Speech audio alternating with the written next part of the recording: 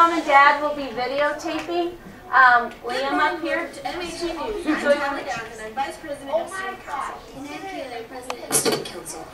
Please join us in wishing a happy birthday to Cole Williams, Michaela Westcott, Jack Rushing, Miss Adkins, Miss Coleman, Miss Stanforth, and Mrs. Springer.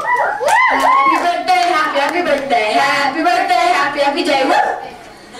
We'd like to also wish a happy belated birthday to Brianna Stanley, Margaret Hunter, and Miss Loxton. They celebrated their birthdays over the weekend. Welcome the following, welcome the following guest teachers: Miss Keel, Miss Loth, Miss Hamilton, Mrs. Miller, Mrs. Laha, Mrs. Reining, and Miss Mr. Carmis. This is a reminder that your cookie dough forms are due tomorrow. Tomorrow night is another PTO restaurant night. Go to Twister's anytime between 6 in the morning to 9 at night. When you buy something to eat, MHU's families will earn money for our school. Here's Mr. Ray with it. I mean, here's Mr. Chris with our lifelong message. Mr. Chris All right, good morning, Mammoth Heights. This week or today we're talking about initiative, and we have three students that showed great initiative and got lots of nominations. First, we have Blake in Miss McKee's class. So Blake, how did you show initiative? I showed initiative by holding the door for the rest of the third graders when the third grader in front of me was just bumping the door. It sounded like a job that needed to be done, and you took care of it. Great job, Blake. Next, we have Jack in Miss Crispin's class. Jack was nominated by Ben Varga in class. And Jack, what did you do to show initiative? Take up a chair and put it under the desk. And again, another job that needed to be done, and Jack was kind enough and took that initiative to take care of that. Good job. Then we have Liam in Miss Stanford's class. Five nominations this week for showing initiative, and he's checking himself out on the TV there. Now, in the morning, Liam likes to greet each student as they come in with a smile and a hello. What does that look like, Liam, when you say hello to everybody? You smiling? Yeah, say hello. Hello.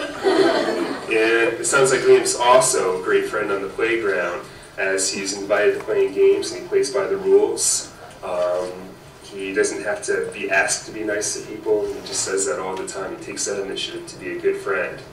So say hello again, Liam. Hello. All right. And that's this week with our initiative. Liam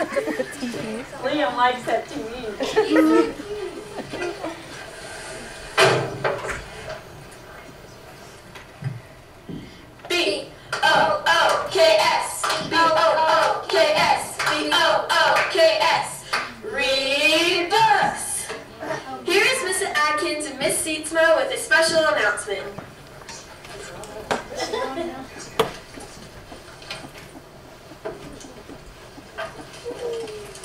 Morning, Marikites. Good morning, staff and students. Mrs. Seatsman and I are here today to kick off Literacy Week. And we have Grandpa even does the voices. I laugh until I'm weak when I hear Grandpa's deep, low voice do Piglet's high-pitched squeak. There's nothing I can't do through books. There's nothing I can't see. The whole world opens up its arms when Grandpa reads to me. And we hope you feel that way about books too, that it opens the whole world. Thanks a lot. Liam. Liam. Students, please stand, face the flag, and join me in the Pledge of Allegiance. I pledge allegiance to the flag of the United States of America and to the republic for which it stands, one nation, under God, indivisible, with liberty and justice for all.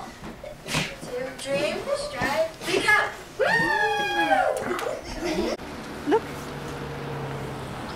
Sideways. You're standing in front of your name. Liam O'Donoghue, what's that for, my darling? Is it Liam? Liam, look at me. What does it say? Liam the superstar. Come on, my son, you're a superstar. Wait, wait, say it again. Wait, wait. am, I am a superstar. You are a superstar. You Are you a superstar? There you go. there you go. Liam is a superstar. Hmm.